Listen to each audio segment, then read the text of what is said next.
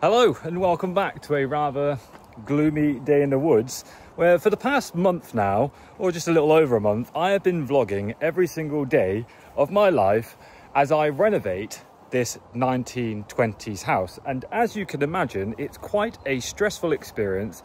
So we thought it'd be a good idea to take at least one day a week off and on my days off I like to do something a little bit different. So thanks to today's sponsor Makera we're going to be unboxing the Carvera Air a desktop CNC machine that has professional accuracy right on your desk. Firstly we're going to be running a couple of tests using a variety of different materials and then I'm going to try my best to make a custom chess piece. And with zero experience how hard could that be? Probably not that difficult, but before we unbox this, let me give you a bit of a background on Makera. Makera is a team of makers who wanted to design their dream CNC.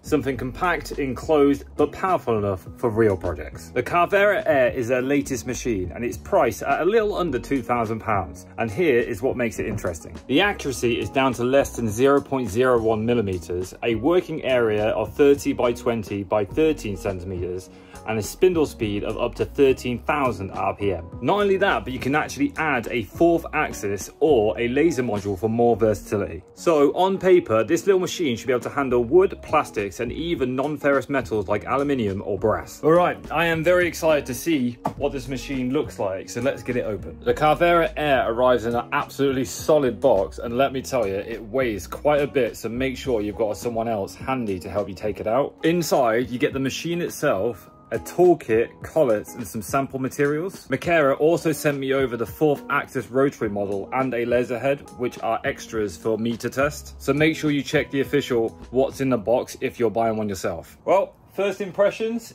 it is a absolutely solid machine. It feels incredibly premium. I actually really like the toolkits and stuff that they sent out as well because that, that actually comes in really nice packaging. The one thing I would say if I was to offer any critique whatsoever is the design of the cardboard box it comes in. Whilst it is very, very solid and you know you're going to be safe having this transported across the world wherever it's going, uh, it would be nice to have one of those boxes where you could lift the cardboard box out of the machine rather than trying to lift the machine out of the box. It's very difficult. So I, I highly, highly recommend if you have another person to help you lift it out, definitely, definitely get someone because I couldn't move it on my own. Uh, I, needed Jess to help me. So that was the only thing I could, I could critique. Otherwise, it is an amazing looking machine. You can actually slide this cover down. So it is a fully enclosed workspace that allows you to keep noise down and the mess inside. On top of that, it's a good size compact machine that you can most definitely fit on your desk. I, I have mine on my workbench. I'm not too worried about it taking lots of room. It's easy for me to store away when I'm not using it. But to be honest, it looks so stunning that it's kind of one of those machines that you want to keep out on show. And I can't wait to put it to work. So let's plug it all in. This machine is so user friendly that one of its standout features is a smart tool change and probing system. The software automatically tells you to swap out the bits and probes the surface, meaning you don't have to re-zero manually every time that you change tools. Fortunately for me and my very minimal experience, they actually send you an example guide so I can try out this machine before attempting to make my own chess piece. And and the first thing we're going to try and make is the LED light. And as you can see, thanks to the fact that it has less than a 0.01 millimeter run out, it is actually perfect for detailed projects like this PCB. But like I said, switching out this tool is so easy. The software tells me what tool I need. Then I simply pull on this lever, remove the old tool and replace it with a new one. Then I just press confirm on the software and it continues working. With the PCB board now made, which looks amazing, it's so accurate, we're going to switch over to some ABS plastic and I want to see how the milling goes. Thanks to its modular fixing plate, it's actually very easy to secure your workpiece down. You can use the clamp provided, double-sided tape and more. With all that fixed, let's start milling.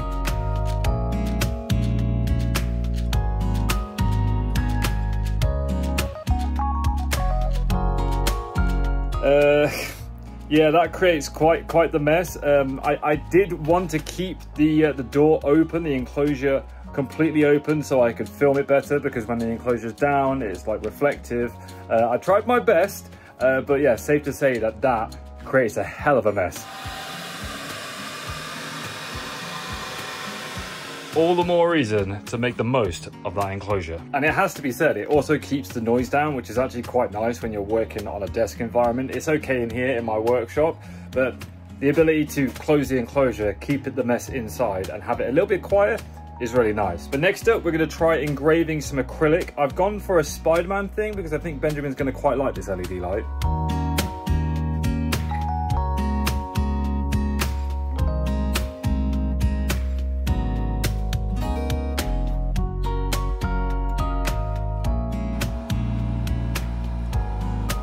So far, so good. I am absolutely mind blown about how detailed it can do this and it's just it doesn't even sniff at the at the materials I'm throwing at it although the next part is meant to be an aluminium switch plate so I'll be interested to see if this kicks up a lot of mess.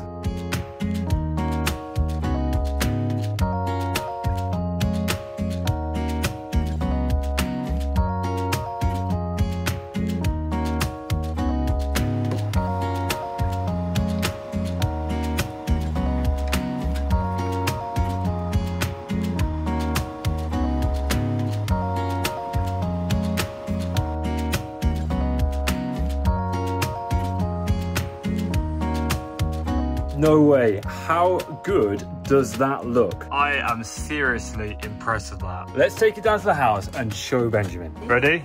Yeah. Open your eyes. Whoa. How cool is that? Eddie made all that. Do you know who that is? Spider-Man. Do you like it? Yeah. Well, that's not quite the, the reaction I was going for, but to be fair, he's been in front of a screen all day whilst I've been working on this. So uh, he's a bit not really with it. Um, I will admit, I, I didn't actually uh, solder all of that together. Yeah, the, the PCB board is still here. Um, thankfully, uh, they give you uh, an LED uh, light assembly kit. So I could have soldered it, but I am really bad when it comes to like fiddly soldering stuff. Uh, fortunately, they give you an LED board pre-done. Uh, but it's still quite cool to see it create this. I, I'd be interested to know what else we could do with the PCB boards. Especially now, the potential has been unlocked with this machine. I have to admit at this point that it took me a minute to wrap my head around. I had to obviously, for the first time ever, actually read the instruction manual. But once I got the software, it was super easy to understand. I followed the guides on how to make that LED light and just watching it all come together is, is just blown my mind. It's one thing to create something out of nothing, but another thing to tell a machine to here's this square piece of wood or here's this piece of acrylic carve it out and, and turn it into this absolutely amazing 3d model. I mean look at the Carvera controller. It literally looks like something out the matrix. But for cam software Makera has their own cam software solution which makes it super beginner friendly. You just import your model generate toolpaths and send it straight to the machine and it just does it but if you prefer Fusion 360, VCarve or any other CAD or CAM tools, it's compatible with those as well. Now, this CNC does do laser engraving, as you saw me mention earlier. It has three axis relief as well as four axis relief. And whilst I'm a little nervous about this, I'd be lying if I hadn't uh, been stressing a little bit about uh, committing to making a chess piece. This machine can do it. I just need to figure out how to to make it do it. So I am now going to attempt to make a custom chess piece. Okay, so we're going to be clicking on four axis. I'm going to import my model like so. And what I'm going to do is because at the moment, as you can see there, it's not really at the, uh, the rotation I want it. So we're going to click on rotate plus 90 on the XZ plane. I'm also going to scale it up a little bit. So we'll go with 25 like so, hit close and now I'm gonna right click on path, set a new rotation path, make sure I've got the right materials, which I do, hit calculate, should calculate the path for me and there you go. It has drawn the path. Now i've got to change the material because i'm obviously not going to be carving this out of aluminium we're going to be using plastic. It's square and it is 100 mil in length and 35 by 35. Hit OK. Right, so our model perfectly fits inside what we're going to be carving out. Now I can hit export. Click the path that we're going to be exporting. It's asking for tool number four. Hit export. Now in our Carvera controller, we can actually upload a new file. Okay, as you can see, it's completely uploaded to my machine. I'm to hit select. It's opened the file. You can see there it is good to go. Now all we need to do is open our fourth axis and set it up. Before we start, we need to make sure this spindle box is all the way to the left. They shift it in slightly for packaging. Okay, slide that all the way to the left. We now need to put the rotary module on here and screw it all in. With that securely in place, we now need to bend the cable around the back here and plug it in under here. Now we can turn the machine back on. That's pretty cool. Now we're just going to fix our epoxy tooling board by opening the clamp here. We'll move the tailstock right up and secure that in place. Okay, I think we're ready to go. I probably should have done the sample model first before trying this on a on a custom chess piece. No idea if it's going to work or not.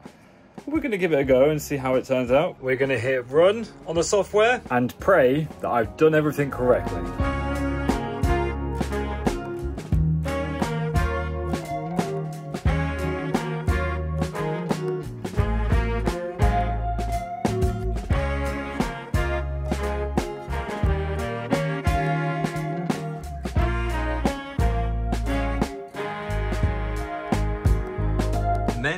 Many, hours later, it has actually finished. So many hours later, it's now actually the next day. Um, so when I was using the software, I think I was meant to choose the material first and then set the path, but because it thought it was aluminium, it took about eight hours. Uh, but it's done an absolutely cracking job at it. But as you can see by the uh, the dust in there, it would have been nice to have this extraction on. However, I don't have uh, a clip to clip my hoover onto here so be aware if you don't have the like the full setup that you will periodically need to hoover that up but once you do oh my I did something. I made this. I just wish I'd set it up properly. I have a more complex uh, chest piece that I'm actually wanting to try because as you notice there, the base is very much still a part of the block as well as on the top. And what I didn't consider when I set the model up is that you can actually add little 3D props for it. So it'll cut it right down to make it easier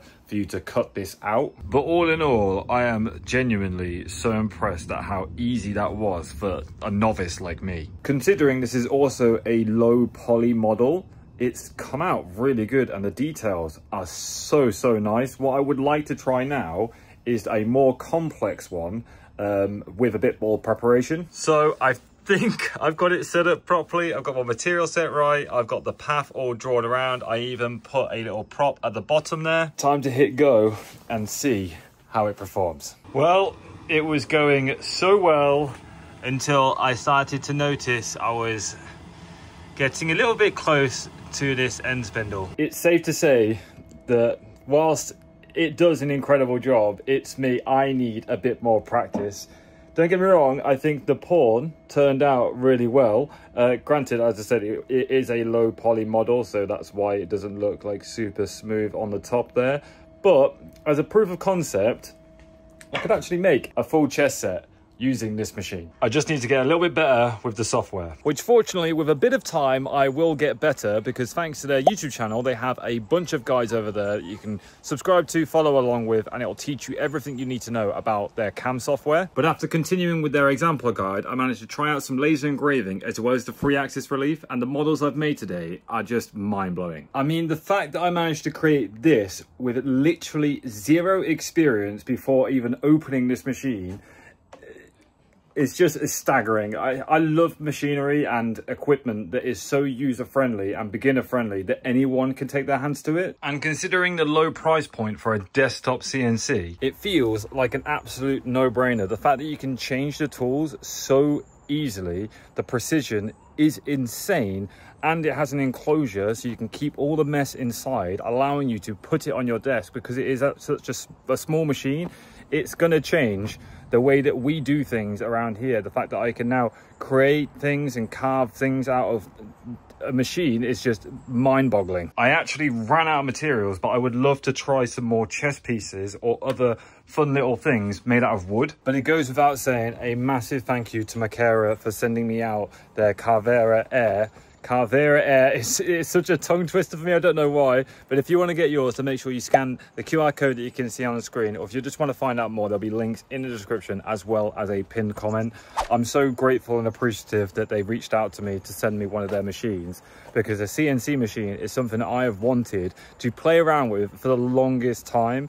And it, oh, it was genuinely quite daunting at first, wondering like, oh, am I going to be able to make this chess piece like uh, it, it seems like a really complex thing but honestly as I said before, it's so user friendly. It was a breeze to get through. And whilst I made a couple of mistakes along the way, I'm sure with time I'll be able to create some really stunning pieces out of that machine. It's just, it, it's honestly just been a, an absolute eye opener for things that we could possibly do. So yeah, let me know in the comments down below if you have any ideas or suggestions as to things that we could make. As I said, like a chessboard would be really dope. I think I would love to make some signage out of it because we still have no signs around here, so no one can actually find us.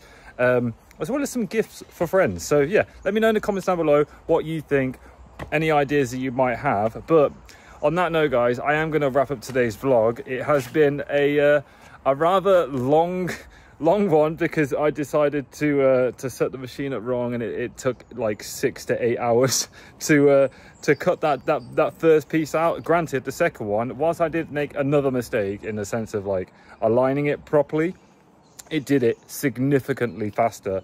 And I reckon I could probably, with the right materials, make a full chess set within a day. Like it, it it's literally like handcrafted materials but with a machine. It sounds so backwards to say that. I'm literally wearing my handcrafted uh, my handcrafted hoodie right now but the fact that you can get like professional like gifts from that machine it is just yeah. Uh, I'm, I'm honestly lost lost for words. So yeah i am gonna go. Thank you so much for watching and i'll catch you guys in the next one. Peace peace. Much love. Bye bye